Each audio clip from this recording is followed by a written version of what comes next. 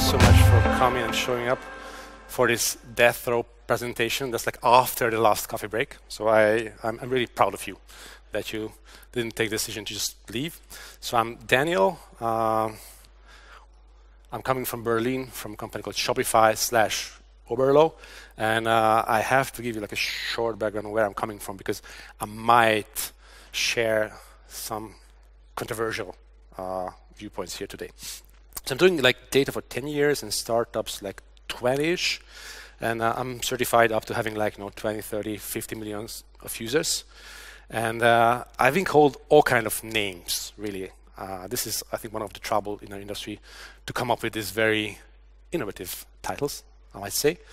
But besides working in a very diverse set of industries like e-commerce, uh, productivity, uh, I've seen AWS, I've seen Azure, I've seen the GCP, so I might say that I might be a bit like having a perspective that's not like final, but I think uh, I try to give you like a realistic view of the state of the union here. And again, as far as I'm doing this for quite some time, I don't really get excited if like a new JavaScript framework comes out. And the only thing I kind of adopted from reading Gartner reports for too long is the concept of total cost of ownership.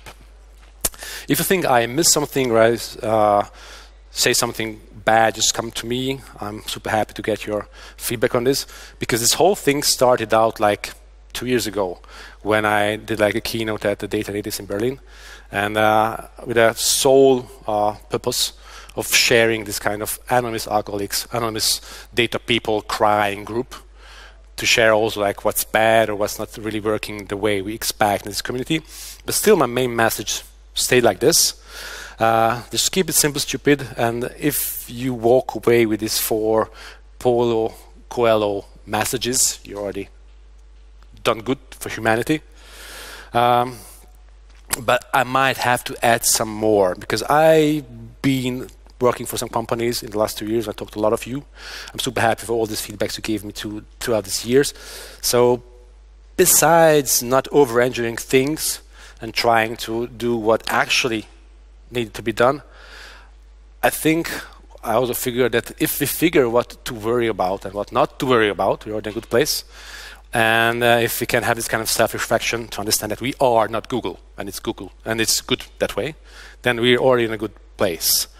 So I'm still old, slow, lazy, and stupid. Your mileage may vary here, but uh, let's get to the bold things. Now I really think that the hype curve is over, and it's more like a war for your attention, for your resources, be them money, time, investment, or choosing tools.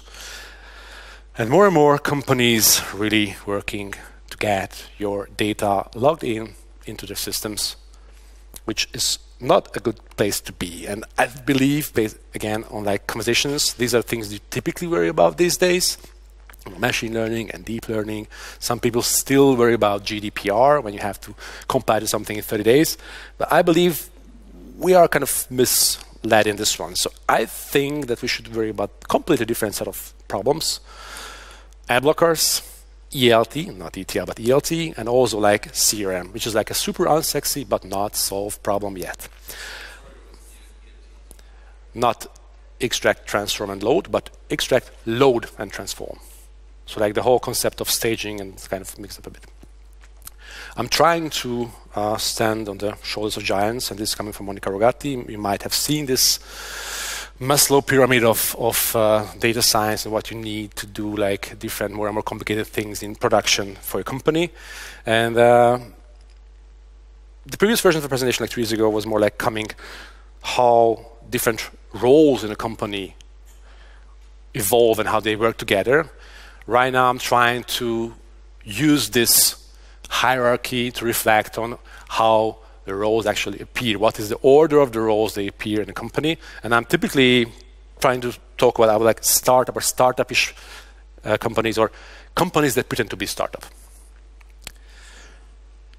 So, as you can imagine, typically you try to build this pyramid in the middle. Okay, this is what happens. First, you have some kind of business analyst type of role appearing in a company, so you start aggregating and labeling your data without any foundation. And uh, the main message here still stay the same. That if you're doing any kind of business analytics, business intelligence, call it whatever you want, you cannot skip leg day. You really have to understand what you're talking about. What are the definitions, the business definitions, the processes? What are the beans that you are counting? Okay, and for that, it's very wise to actually make programmatic KPI definitions. I don't care if it's in Python, in Prolog, or a pseudo language, or just like plain, plain SQL, but whatever KPI you come up with, it should be something that is reproducible and it can be run only in one way. If you have this kind of role in a company, your most important thing you have to do is like you have to look at the data, really, with your eyes. And uh, if you tell me that average of this, average of that, you're fired on spot. If you say mean, I think we're getting there. But again, if you don't know what you're looking, what you're looking at, look at always the distribution and how the distribution changed throughout time. I'm going to give you an example for that. But besides that, at this phase, typically you can survive with a very decent and small tool set. What is on every computer, even on Windows, like you can have Python, and as I'm quoting like Martin Loetzsch, who I'm going to quote later again, if you're in doubt, use Postgres. Really? A company called Adjust sits in Berlin who are doing uh, a great mobile tracker service. I think they just raised like 60 million euros like last week maybe. They handle all the data in a 20 terabyte Postgres cluster. So you can't tell me that it's not scalable. And you can survive in Metabase if like a sole proprietor of data munging. Uh, you get what you pay for. It's free. I still have like open tickets issues with them for one and a half years, so it's not perfect, and nobody really wants to touch their Clojure code base, but still it's a viable thing if you want to get things lifted and if you want to get data distributed in the company. So an example of like what's the problem with average mean and, and distribution? Who uses NPS or Net Promoter Score at the company you work for? Anybody? You are a very lucky bunch, I'm telling you. Because NPS is a KPI is super popular in the business community. Like, you know, you measure how much, how often would your customer tell her friends that they sh you should use your product or service. Uh, but there's like a major problem with that because business always looks at it as like a number, like what's our NPS? It's like five, it's eight, it went up and down, and they start to worry about this. The problem is that even if this number is simple, it's constructed in a way that you can't really use it much. The way you collect your data, your sampling is skewed. Like whoever answered this question is a different set of people, not the whole universe. Actually, answering this question is a pretty unsure uh, exercise. Like you know how you rate this on like a one to ten scale. But the worst problem is that the way we calculate NPS is very easy to hack because it works like as a step function. There's a lady called Eva Reitzer. You should look at her blog post. She even gives you like a piece of R code how to hack your NPS score. So if you ever has to provide NPS for the management, you know where to look, how to fix it. But again, it's not a problem of the concept. It's a problem how we look at it. That we just aggregate it like one single number and try to figure the random walk. How does it affect our business? If you collect the same data and you look at the distribution of answers and the changes in the distribution of answers, you might get a much real understanding of what's happening in your customer's mind. At this phase, again, one thing that's predictably wrong, it's called Google Analytics. Uh, everything is in an old familiar snap interface, but the data you're collecting is missing at least 9% of the events you send to it. We can talk about later also. But on the other hand, you don't even get access to your raw data, just aggregates. If you paid 150k per year, then you can get access to atomic data, which is actually wrong by default. Don't use this, and again, I'm happy to put an XKCD uh, slide anytime because they collect a lot of interesting information. This slide is like last minute uh, to this presentation. In the last two weeks, things started to get more and more crazy in the arena of the BI tools. And uh, again, it will not help our life much. Uh, I never understood why Tableau was not acquired by Microsoft like years ago, because you know Microsoft's BI offering is, I would call, super, and Tableau works in the same enterprise environment, uh, runs on Windows servers, and if you forget about that, it's like a hodgepodge of Rails, Postgres, and then in-house memory engine. It's still like a viable solution. And on the other hand, uh, we just got the news recently. The new head of uh, GCP or the Google Cloud Platform is coming from Oracle. So looking at how Google just snatched up Looker, the Rolls Royce of the BI tools, it's very likely that Google is going to march toward this enterprise-oriented BI setup again. At the end of each section, I will refer to someone who is much more relevant than me in this one. I really advise you to look up this guy. It's called Martin Loetzsch. He sits in Berlin with Project A Ventures. That's like an incubator that not just gives money to companies, but also help them to build themselves. So he has to build every year like 10 to 20 uh, BI setups for a variety of companies. So he's seen some stuff. And he's having a pretty nice presentation about how to set up KPIs, typically in, in e-commerce setup, I would say. Also, one very interesting presentation he's having about how to find any kind of value in data science if you're building a startup and you're like an early phase. And just to help us, they released their own internal ETL tooling. It's called Mara. These days they're working on Dockerizing it, but it's still out there. It works pretty much well. It uses Postgres, very lightweight, good stuff. So let's get back to our pyramid. So we have we have the middle. Okay, we started to build a pyramid in the middle. Where should we go? Up or down? Definitely we should go upwards because we are just eager to do some machine learning or data science because that's why we subscribe to this job anyway. So let's do some learning and optimization. And I think this is the original sin that uh, we, I don't know who came up with this idea that we call the whole thing data science. Like science is a way of understanding the world, doing experiments, and trying to find universal laws and how the universe operates.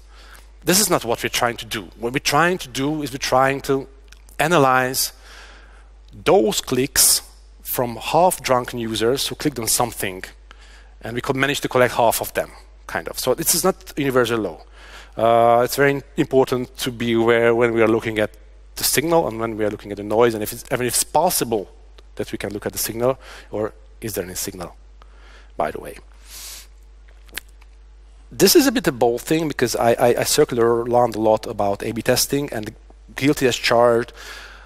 I was involved in building our own A-B testing uh, toolset back in the Wunderlist Microsoft days. Been there, burnt lots of man months on making this happen and properly ship this into production and put it out on mobile devices and whatnot.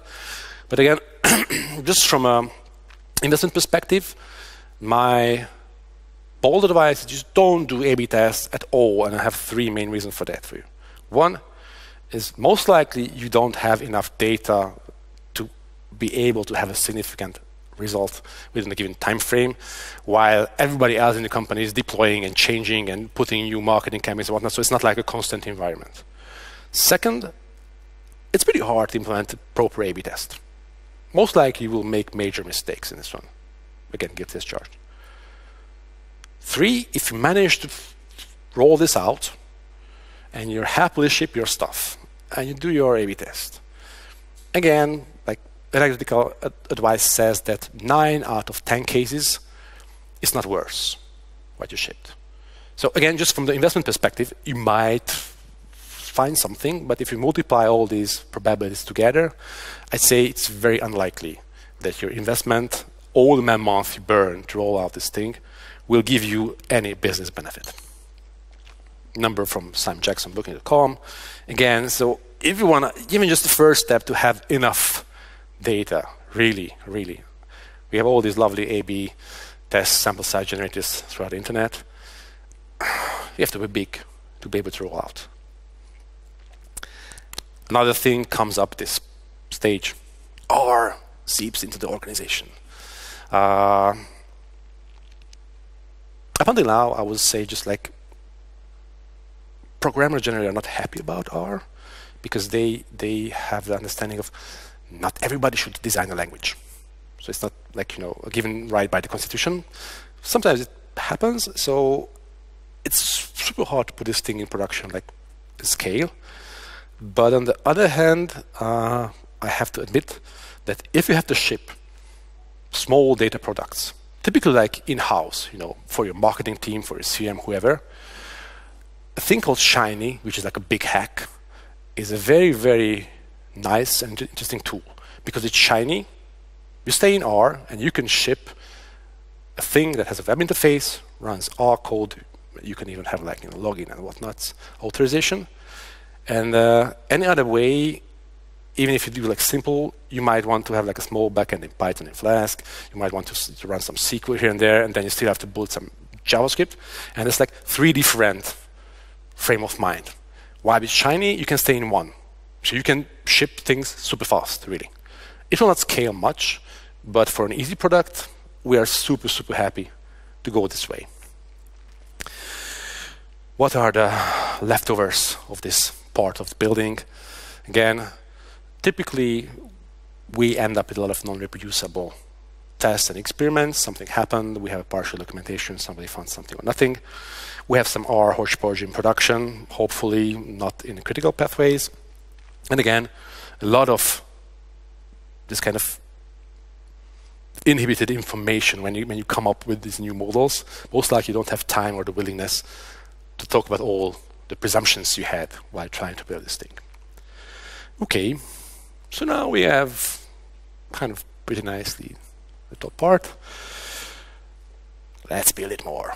Now we're very, very trained and war-torn by data science. Let's do some machine learning and AI and deep learning and whatnot. This is the icing on top of the cake. And again, reality and the way we present things, the way we go to talk to our investors and ask for money, hey, we are the AI of something, might be a little different. There could be some gaps in reality.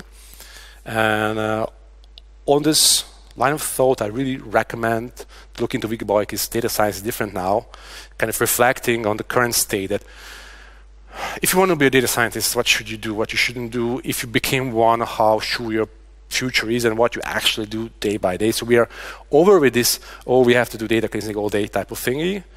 We matured a bit, but it's interesting to reflect on still that the main problems are the ones that we used to have, and maybe even just like, you know, as they say that as people grow older, they just become more and more like they were younger. So Karpathy, I think, still still sits with Uber. I don't know, but again, so it's it's small. So PhDs were about models and algorithms, while Tesla was about data sets. Okay, so if you like try if you try not to kill people with big cars, it's really about how to train reality into a model. They don't have much success with it yet, but they're getting somewhere. One constructive approach is that a lot of cases, again, you don't have enough data. What you can do as a data scientist or machine learning engineer is that you actually can make your data, either with simulations, or I've seen people actually building apps or parts of apps just to collect specifically more data from a different, from a definite subset of users or universes. So it's meaningful what you're doing even after having a model and you see like it's okay but we need more data maybe it makes sense to invest in this part. Other bad thing happened to to deep learning and machine learning in the last two years that almost everything got dockerized and kubernetized and everybody's living in this inception world. Uh, notwithstanding it might not be the best thing to do with data products. Still i mean we survived it but we spent i mean previously we spent a lot of time again, cleaning data. Now we spend more and more time actually putting things in production and covering them with all the all the sugar coating that's needed from the contemporary uh, DevOps situations. And actually, I would say that right now the most searched uh, job role, like people, HR people looking for data DevOps. This is the most important thing. Like it's like again the unicorn. Previously, they wanted to have like research engineers who are like data engineer and the data scientist together. Now they also want to have like a, a DevOps under one roof. Not that they can find DevOps who are not data people anyway, but it's always good to good to uh, look at. Another outcome that it gave the possibility for a lot of data platforms, data science platforms, to come up. I know uh, some of them make much sense. All the all the uh, cloud providers are are doing it, but again, coming from production, like in the last half year, we try to put some, you know, nothing's fancy in production, just like you know, recommendation systems. The hard part is not to serve the recommendation. The hard part is to pre-compute the features. Can you pre-compute the features online, or you cache them, or do some kind of a mix? It's pretty hard. And again, if you look at what we actually gained from deep learning, I think it might be like a detour in a way that the whole notion just gave us more and more computing power, really. But this screenshot, Real Compression be Machine Learning skill App, is coming from Pete Warden, who's uh, leading uh, the TensorFlow team, the mobile TensorFlow team at Google. And if you couldn't come up with any better thing like that, so really like we can kind of compress porn on any device, good. But uh, I wouldn't call it like a breakthrough, really. It might be interesting if you want to like transmit satellite data from a microcube down to Earth, but otherwise I don't see yet much the real usage.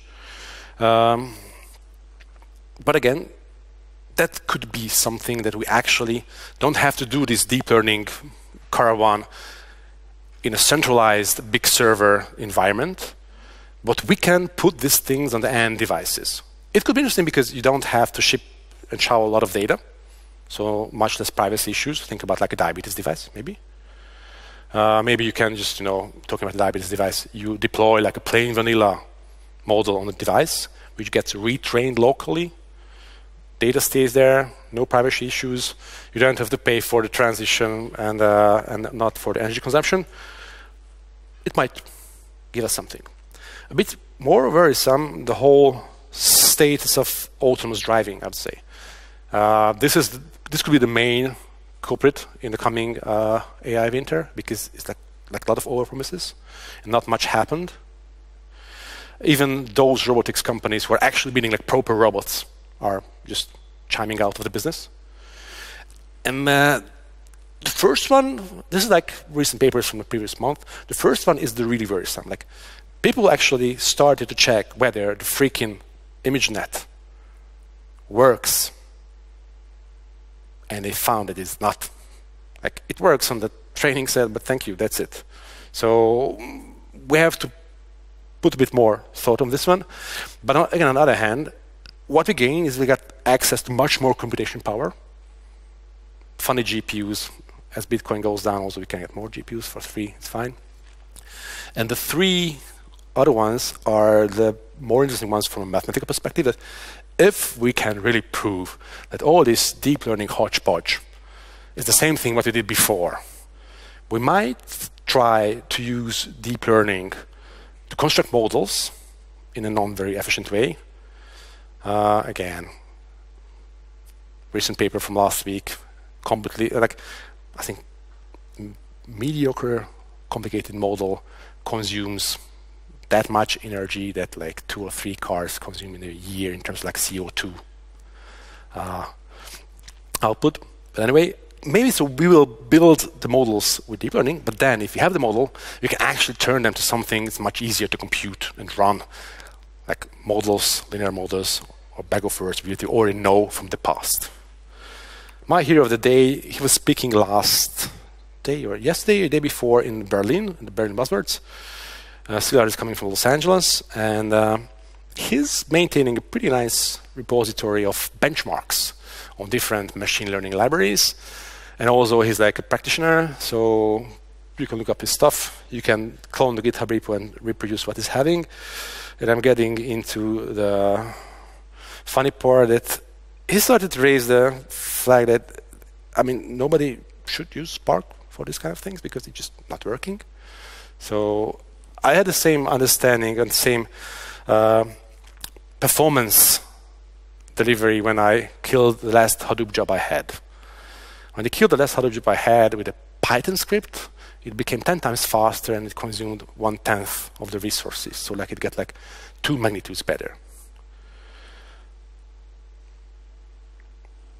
I would say that it's very wise if you're in data science to learn a bit of an engineering because that might come useful later. But again, I'm just like a Eastern European guy who thinks always the bad things.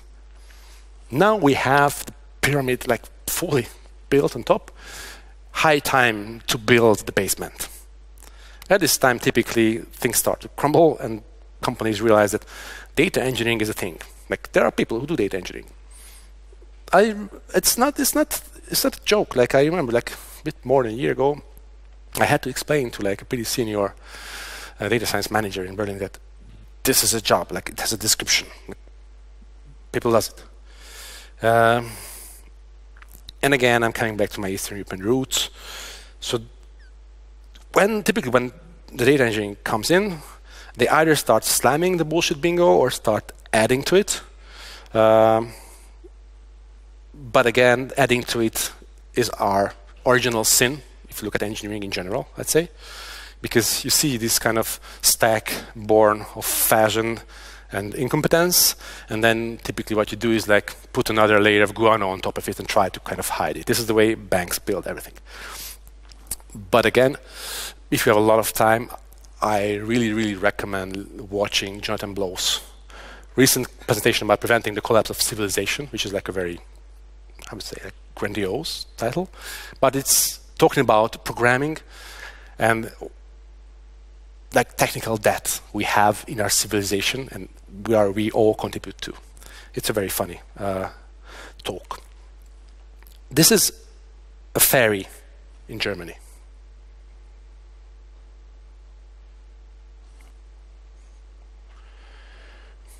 I'm not a beach constructor, but I might have the impression that actually with half of the materials, you could actually have like a bridge. Uh, this is the thing that I think we should definitely work on. We are all guilty as charged on this one either. And uh, again, whenever we think about distributed computing and all these kind of fancy things we have in the clouds, I always go back to this lovely chart that how much time does it take for a computer to do something? Read from memory, write to disk, talk to someone in a different uh, region, a different computer in the internet. And uh, you know, the problem is that here we're talking nanoseconds, and here we're talking like milliseconds. It's like one to 150 million. These are like different magnitudes. And uh, that is the reason why, for instance, Spark is super slow.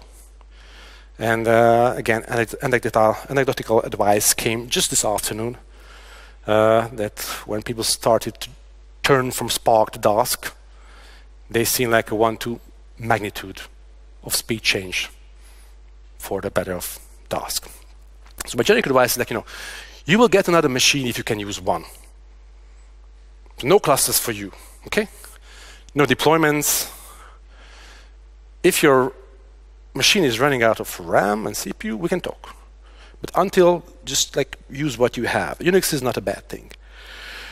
I will also get asked by this manager I mentioned that what makes a data engineer? Like how do you define a data engineer? And I think data engineer for me is someone who's a an integration engineer and kind of a data architect. Okay, but the main uh, qualitative thing is that you can embrace dirty reality. Like if you're a backend engineer, you typically touch like one record. Okay, but if you're a data engineer, you look at the universe and you have to understand all the falsehoods programmers think about names, places, time, and all these kind of things. Because reality is dirty. Like you can have a time zone of 6.75.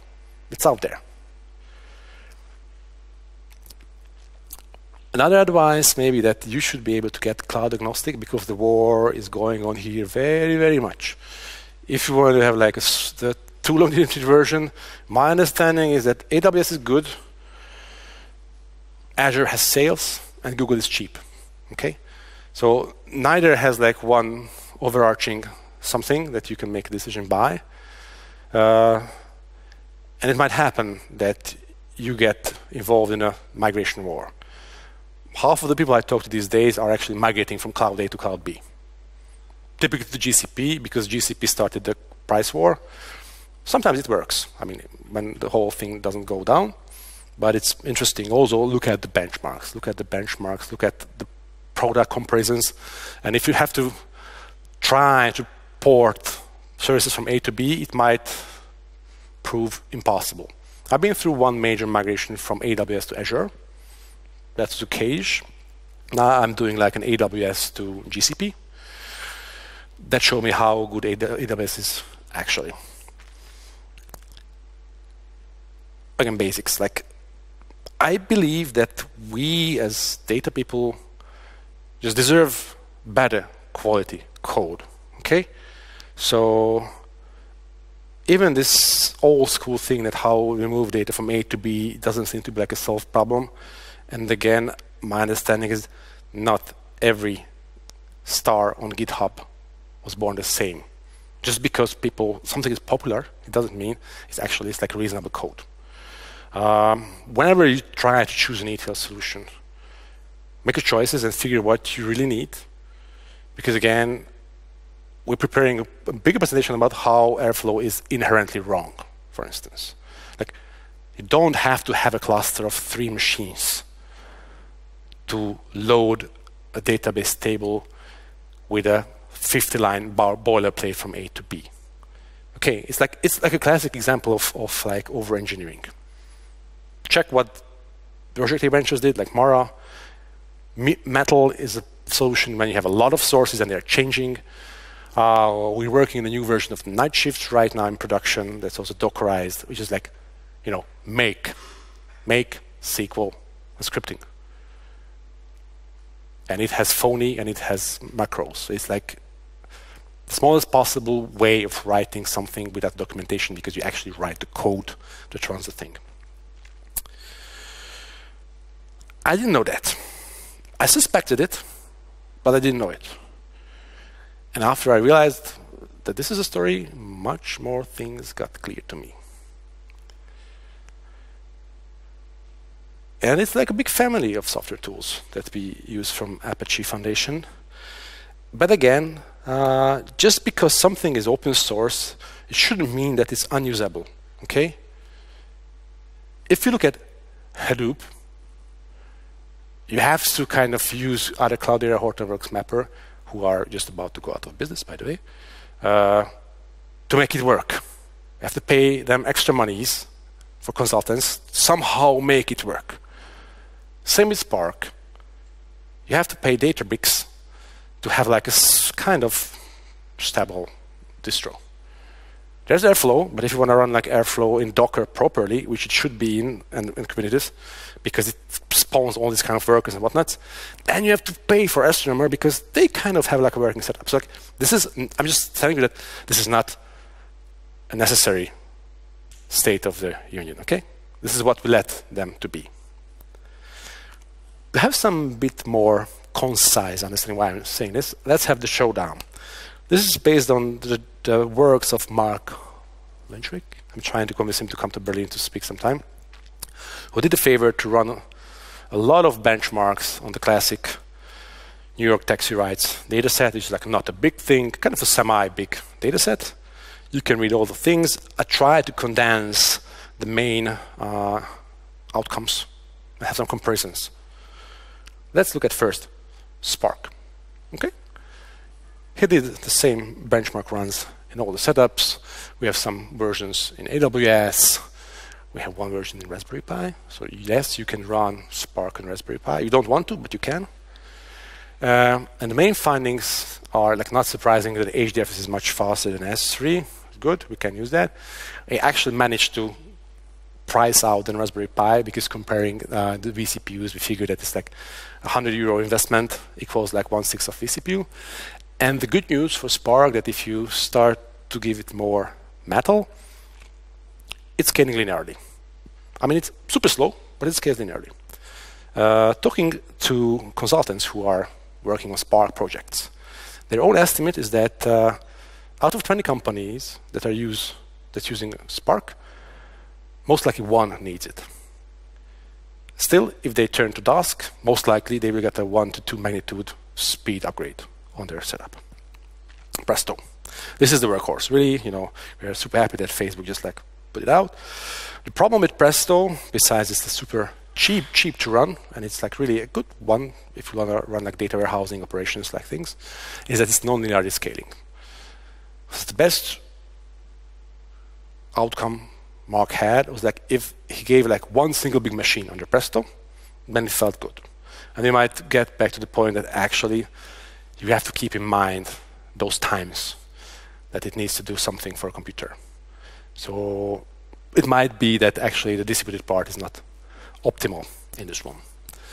I'm going to share these slides so you can look at the numbers, definitely, and also you can look at numbers at, at Mark's website. A lazy evaluation, if you come from like a you know, business manager perspective, like what solution should I choose? Should I go Presto or Spark or should I go Redshift? It's much more harder to compa compare because some things are like software as a service thing. You pay for usage or you pay for time. But again, what you can also calculate in for the total cost of ownership is what is the human cost of operating these things. And I'd say that if you look at the BigQuery, Amazon Redshift thingies, they are performing pretty well compared to decent size deployments of the of the cool new guys. Uh, but again, you have to keep them alive somehow. So maybe it makes sense to buy something from the shelf. What can you do with one machine? And here comes the funny part. Let's give like one big machine to all of these thingies, so we cannot really talk about you know net ping times and whatnot, how fast they are. And here, the is called ClickHouse. ClickHouse is developed by Yandex, and uh, it just blew everything away. So that ClickHouse ran on a single machine like a laptop with four cores. And these things were running on like an i3 8x large. It's just like unbelievable. If you have time, check out ClickHouse. Uh, and again, you can fly with a single machine deployment pretty far. Uh, it just kills the whole competition. Another topic. Do you use ad blocking personally? Okay, some people use. Good. And coming back again to the Google Analytics thingy, maybe you use Google Analytics, maybe not. Actually, the current state of union is that at least 9% of the events you send to a third-party front-end collector, be it Google Analytics, Segment.io, whatever you call it, is getting lost. We don't know which part of them we don't know if like a user gets lost completely or just partially. But if you think like that, uh, you know, we collect 100 events for like a three-step funnel. If you lose randomly nine out of that, your conversion rate could vary pretty much.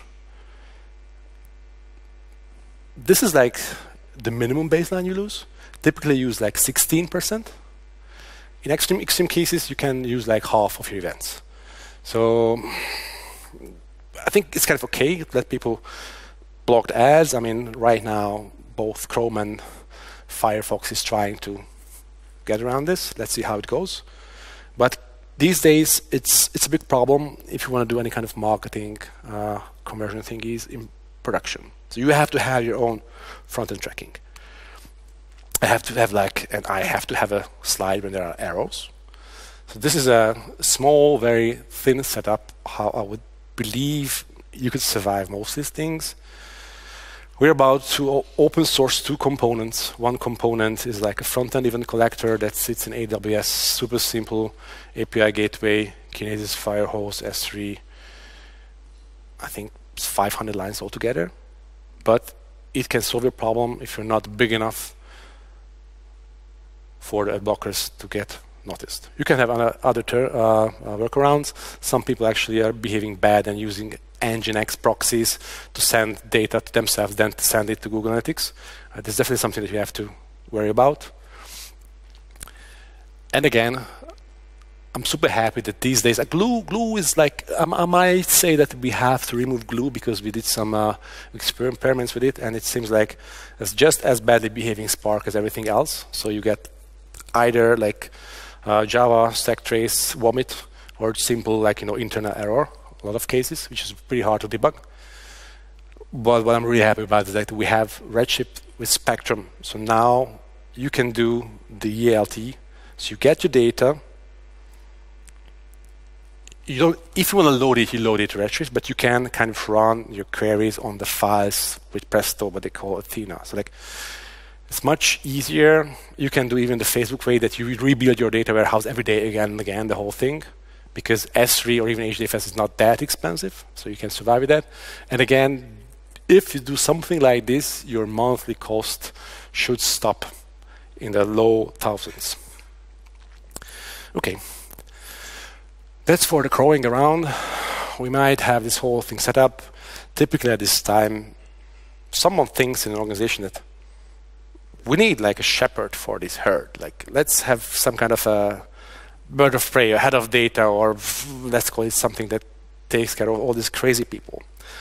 Then comes more like those parts when you have to make a decision that who you are, who can be you, because this is what you do most of the time we all know that proving something is super hard, uh, but proving that it's not working is much easier, and that's what data does most of the cases. That you say no to people, and it needs some kind of a morale and uh, spine to be in this role for a long time because people will not like you. They come to you with all these kind of funny ideas and product features and marketing campaigns, and then in the end you say them, no, didn't make any sense. everybody's still looking for this animal. I'm pretty bad at German. I think it's the eierlegende Wollmilchsau, something like that. It's called like you know the universal animal. So I touched base on this one. That previously everybody's looking for the research engineers who are like a data engineer and the data scientist. Now you also have to be a data DevOps because for some reason Kubernetes gave up again. Um, super hard to find people who can deliver uh, I see like a pretty decent focus change from data science to data engineering these days. So the number of people looking for data engineers just like shot up pretty heavily. And uh, again, this is something that we try to address in some time. That there are a lot of like data science bootcamps out there, but how can you attack this problem of how do you grow data engineers suddenly and it's not about like retraining Java engineers to Scala. So they are now a Spark engineer because this is also what people do. I would say that a lot of uh, problems one has if she's leading like a data department are revolving around the marketing department. Notwithstanding that the marketing department always have like a big budget and um, they have corporate power even if like a small company. So again, anecdotal advice, like if the marketing department comes to you that they just spent like 200 Ks okay, on, on spam bots, and can you attribute them to like real users? That can be pretty hard, but you have to do this for sometimes. And I also seen that that uh, when a company decided that they will use Salesforce from now on, and that should be like a data integration project the whole data engineering team left like that day. Like, thank you. Unlocking, it's very hard to get around with them, figuring out how, how you can actually have some, some sensible data from the customers, if you have this. Uh, as everybody's using the same channels for marketing, like Facebook, Google, and some small things, the whole CPA silver bullets are gone. So like you can't make wonders technically. Uh, and just as like distributed computing is not a solved problem, attribution is not a solved problem either. And if you want to try to attribute based on the data that you have in Google Analytics, like you can just have like a, I don't know, draw some pictures randomly. You can get better. You can't trust your third-party data. I mean, if you keep your eye on the news and look at what type of mismeasurements Facebook and Google did in the last two years. The most extreme was when Facebook over-reported video usage by 900%, like, not 2%, 900. You have to make sure that you actually trust this data, and if you can, double check it, do it. But still, for some reason, CRM is still not something that is solved. Like everybody is really. Um, I understand that you promised all this stuff to the venture capitalists that you're going to grow and grow and grow, but keeping your customers is something that's actually pretty useful. And on this one, I expect more and more uh, cooperation in marketing and data, like how to make this really happen, not just like as a lip service way, how to deliver it. Git as charge, I did once what no one should do, like building our own CRM system. It's not impossible. Like in three months, we could turn our all communication systems, be transactional or promotional, into like one system that was humming millions of messages every day with no worries and tableting and whatnot. Do it, and uh, you will gain a lot to your company if you can. And finally, a bit of a word of a GDPR. Uh, GDPR for me seems like that you know how we were with Y2K. Everyone was like really excited. The whole thing would go down and would stop working. Uh, but again, if you didn't do some crazy shit, like you didn't explicitly cheated your customers, it's about the process. Like you have to change. You might have to change business rules. You might have to behave, but it's not something that is like impossible to do. Um, I'm kind of happy that the programmatic advertisement industry is going down because they were the bad culprits in this whole game, I'd say. But as a matter of fact and a side effect, it had the outcome what we expected that the big ones got helped and the small ones got executed a bit. Thank you. That was for today. Um, again, I'm, I'm super excited that you stayed and you didn't leave, and I'm happy to answer any questions you have, be them for the public or be them private.